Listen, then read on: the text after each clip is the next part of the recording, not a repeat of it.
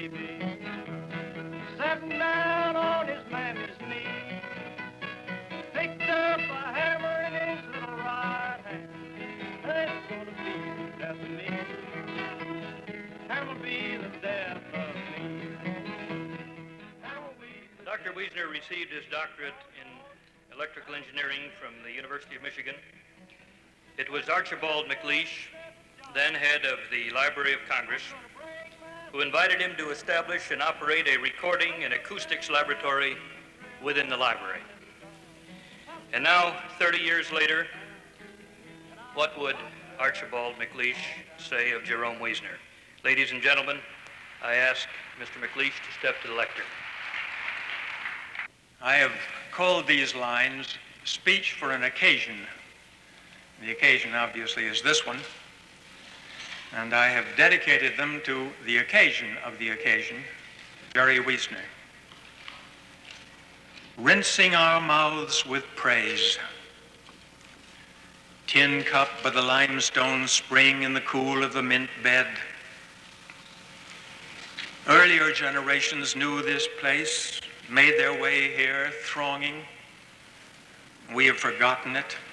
We have kept to the streets too long, tongues stale, hearts thirsty. Oh, to praise God's will in the world, if we could learn it, test it on our lips, would taste of praise. Why else should the world be beautiful? Why should the leaves look as they do, the light, the water? Rinsing our mouths with praise of a good man. I say what I mean. I do not say a good man in a bad time. All times are bad when the man fails them. I say a good man in a time when men are scarce, when the intelligent foregather, follow each other around in the fog like sheep bleat in the rain, complain because Godot never comes, because all life is a tragic absurdity, Sisyphus sweating away at his stone, and this rock won't. Because freedom and dignity, oh, weep, they say, for freedom and dignity. You're not free, it's your grandfather's itch you're scratching. You have no dignity, you're not a man, you're a rat in a vat of rewards and punishments. You think you've chosen the rewards, you haven't. The rewards have chosen you. I weep, rinsing our mouths with praise of a good man in a time when men are scarce, when the word chirps like a cricket on the cellar floor, on the damp stone, and the mind maunders. A good man. Look at him there in the fog. Look, he saunters along to his place in the world's weather, lights his pipe, hitches his pants, talks back to accepted opinions. Congressional committees hear him say, not what you think, what you haven't thought of. He addresses presidents. He says governments even now still have to govern. No one is going to invent a self-governing Holocaust. The Pentagon receives his views. Science, he says, is no substitute for thought. Miracle drugs, perhaps, not miracle wars. Advisor to presidents, the papers call him. Advisor, I say, to the young. It's the young who need competent friends, bold companions, honest men who won't run out, won't write off mankind, sell up the country, quit the venture, jibe the ship. Information Center We'll knows. see if MDC comes in, even, in Cambridge, off that drive. It's, uh, it's still under Cambridge Police. It's just to help each other there. Greetings. Did professors from Berkeley come to give us some help? Where's, where's Ben? Ben is up at the iLab. Well, that's where they actually. One in a car, Yeah. and he will come and say what the rights are and tell them all of this. One car, one cop, Great. and that will be sometime within the next five to ten minutes. Tony Scott is trouble. You better stay the fuck out of the way, because people are going to be coming that way, okay?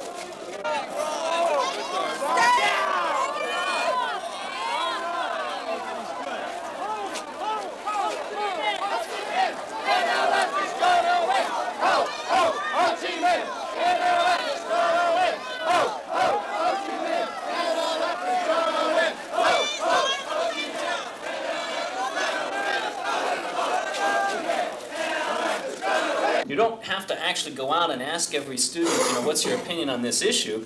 A lot of them aren't going to have opinions on any random issue that you pick.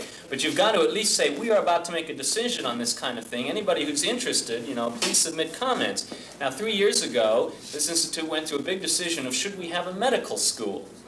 I didn't know about it. I've been here five years, and all of the time I was here, nobody even suggested that we were going through that kind of a discussion. Why not? Why weren't students? why? Yeah. Because we had to answer in four days. And because we had, you know, it was obvious that we couldn't afford to.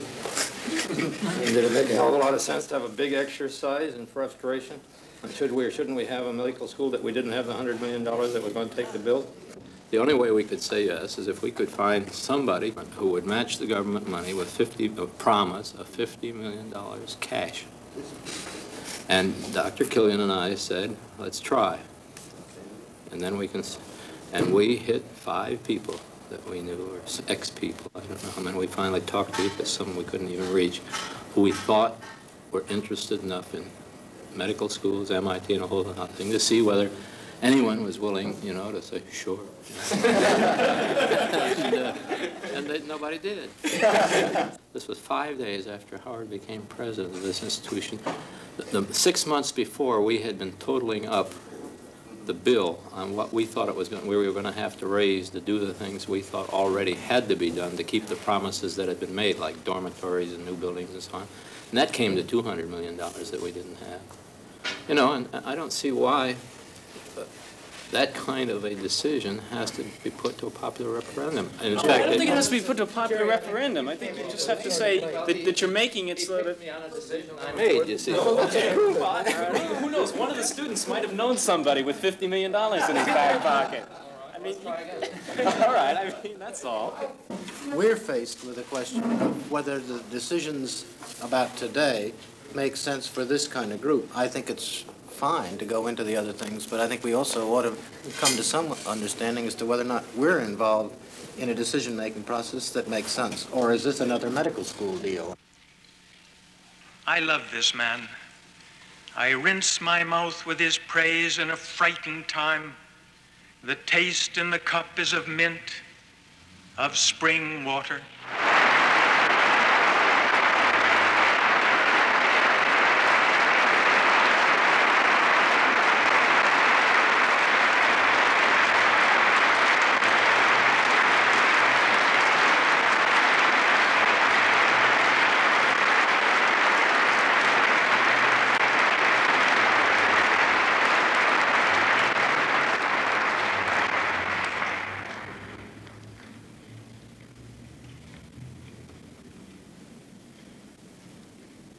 Thank you very much, Mr. MacLeish.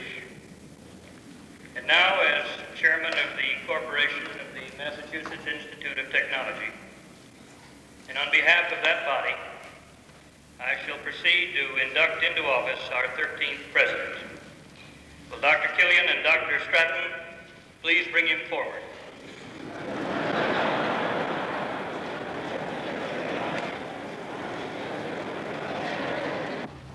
By the authority of the corporation and with the enthusiastic approval of the faculty, the alumni, and the student body, and of this distinguished assembly, I present into your keeping this charter of the Massachusetts Institute of Technology and invest you with all of the authority, privileges, and responsibilities of the office of president.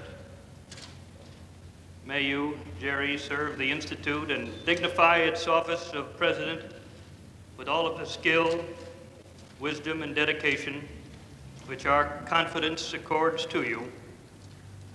And may your administration be memorable.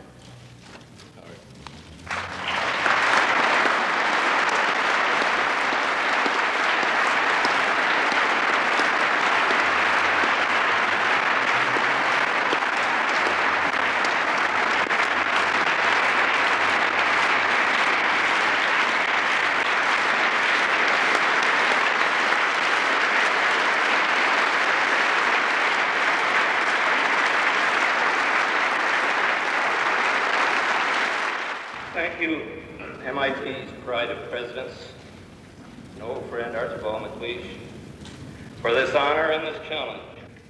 And you, Paul Gray, as you become a legal chancellor, for being willing to share the burden and joys of leading this great institution. And a special thanks to Priscilla Gray and to my wife Leah for so willingly taking the plunge with us into the unknown and exciting, but obviously demanding future.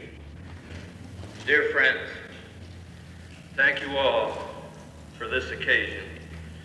And I might just say in passing, Dr. Killian has made me realize that I had something to look forward to. Retirement.